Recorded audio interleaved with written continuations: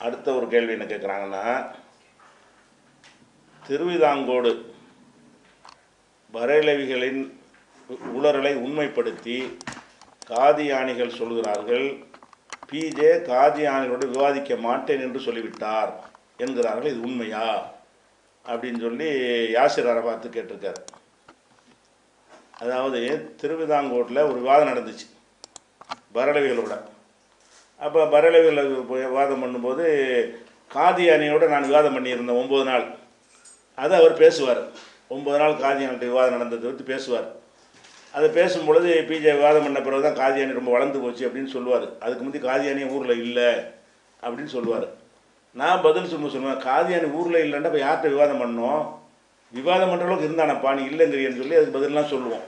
இந்த விவாதத்தினுடைய அந்த கிளிப்பிங்கை போட்டது கீழே இந்த காதியானிகள் என்ன கமாண்ட் பண்ணுறாங்கன்னு கேட்டால் காதியானின்னா விவாதிக்க மாட்டேன்னு பிஜே சொல்லிட்டார் பயந்துடாரு தெரியுமா? அப்படின்ற மாதிரி என்ன செய்கிறாங்கன்னா ஒரு கமாண்டை போட்டு அதை பரப்பி கொண்டிருக்கிறார்கள். காதியானிகளை வந்து நாம் விவாதத்துக்கு அழைச்சி அவங்க ஓடிக்கொண்டிருக்கிறார்கள் என்பதுதான் உண்மை. பல ஊர்களில் அவங்க வருவாங்க. இந்த காதியானி வேஷம் போட்டு வரும் பொழுது பன்ருட்டியில் கடலூர் மாவட்டத்தில் ரெண்டு மூணு ஊர்களில் உடனே நம்ம மக்கள் அங்கே அனுப்பி விட்டோம். போய் நுழைஞ்சு சட்டையை பிடிச்சி விவாத ஒப்பந்தம் போட சொல்லு. நான் தான் வருவேன்னு சொல்லு. நான் டிஎன்ஜி தலைவராக இருக்கும் பொழுது பிஜே வருவார் ஒப்பந்தம் போடுவதற்கு. நீ இங்கே உட்காருன்னு சொல்லி ஆளை படிச்சு நிப்பாட்டுங்கிற அளவுக்கு நம்ம பேசணுன்னா ஓடி போயிட்டாங்க. அதுக்கப்புறம் வரவே இல்லை. அந்த ப அந்த பக்கமே எட்டி பார்க்கல. ஆனால் விவாதம் என்று சொல்லி நான் தான் அழைத்து கொண்டிருக்கிறேன் ஓடிக்கொண்டிருக்கிறாங்களே தவிர அவங்க என்ன செய்யலை? விவாதத்துக்கு அழைச்சி நான் மாட்டேன்னு சொல்லிட்டேங்கிறாங்க.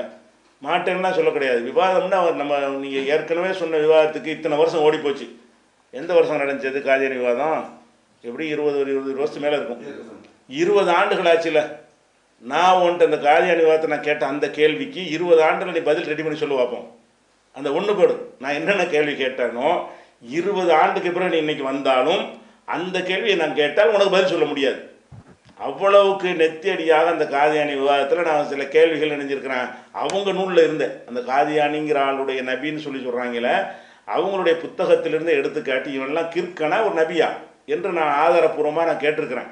அதுக்கு இவ்வளோ காலம் போயிடுச்சு இப்போ நீ இவ்வளோ பதில்கள்லாம் தயாரிச்சிருக்கிறாம்ல இப்போ கூட உன்னால் பதில் சேரிக்க முடியும்னா வா. புது வாதம்லாம் வேணாம். நான் ஏற்கனவே கேட்ட அந்த கேள்வி திருப்பி கேட்குறேன். உங்களுக்கு ப்ரிப்பேர் ஆகி வருவீங்கள உனக்கு இப்போ ஆண் கேள்விக்கு தாளை சொல்லிட்டு ப பரீட்சை எழுத வைக்கணும். கேள்வித்தாள் அவுட் ஆக்கிட்டு என்ன செய்கிறோம் பரீட்சை எழுத என்று கேளுங்க. வரானான்னு பாருங்கள் வரமாட்டான். அதனால நம்ம உடல் அவங்க தான் ஓடிக்கிட்டு இருக்கிறாங்க. சரி. ஆ இருபத்தி மூணு. தொண்ணூற்றி நாலு. அந்த விவாதம் நடந்தது சரி. தொண்ணூற்றி நாலில் எத்தனை வருஷம் ஆச்சு? முப்பது வருஷம் ஆச்சு. அந்த காதி எங்கே முப்பது வருஷம் ஆச்சான் சரி. அப்போ இருபத்தி தொண்ணூற்றி நாலில் நடந்த விவாதம் அது.